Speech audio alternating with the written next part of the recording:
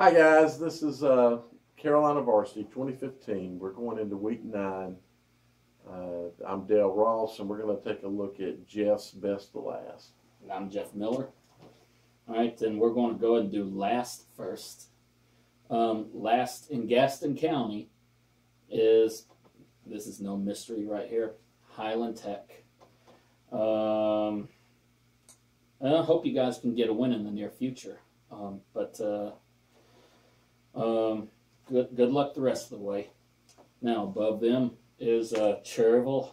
Um, I, I'm really surprised at how bad they have struggled this year. I think they are 0 and 7 now, and uh, I don't know why. Uh, I don't know how they have fallen so far, but uh, now Cherryville, greater days are ahead. But uh, right now, I just have you guys placed above Highland Tech, and I think y'all play each other this coming week. Uh, correct me if I'm wrong, but uh, um, and I think Cherryville will walk out of that one. Any one of y'all want to play Garinger? Um, and uh, then above them is Mountain Island Charter. Um, you know, that one will never get settled because uh, Mountain Island Charter and Cherryville do not play each other this year, despite being in the same conference due to you know some sort of scheduling conflict. So, um, but because Mountain Island Charter has scored more points than Cherryville and probably had an easier you know schedule in Cherryville, I put Mountain Island Charter above them.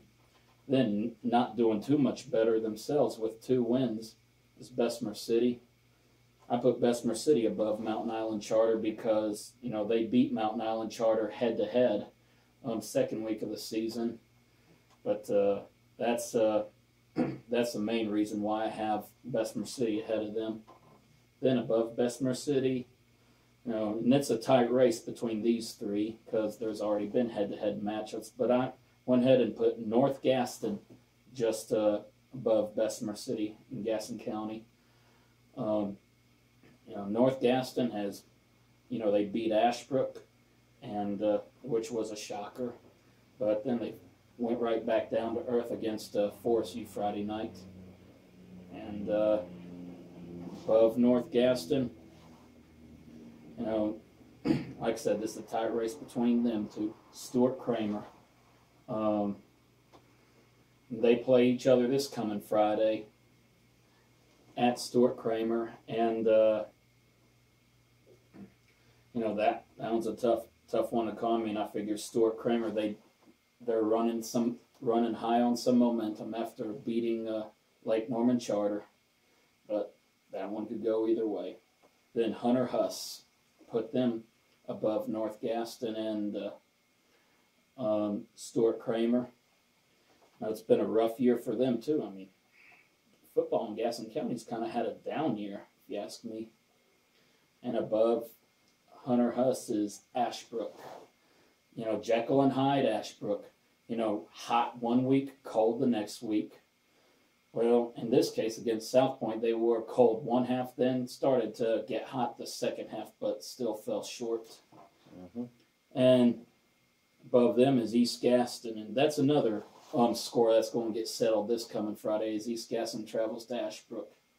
Right now, East Gaston is a little bit more consistent than Ashbrook, and that's why I put them at third, just above Ashbrook.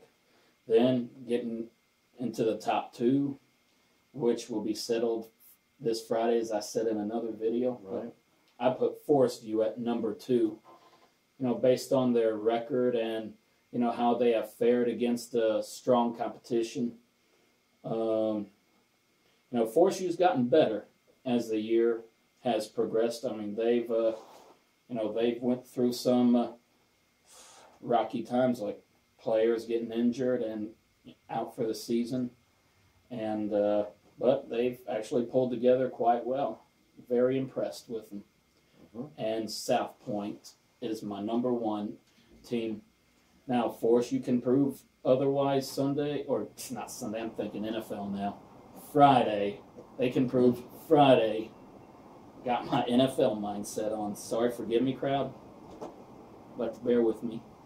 Um, but until somebody can consistently knock off South Point, you know, they they stay up there at the number one chart. Forest View beat them last year and took the conference title outright for the first time in school history, but uh, we'll see how that goes this coming Friday. Hope everybody enjoys. Hey, there we go. Thanks for watching.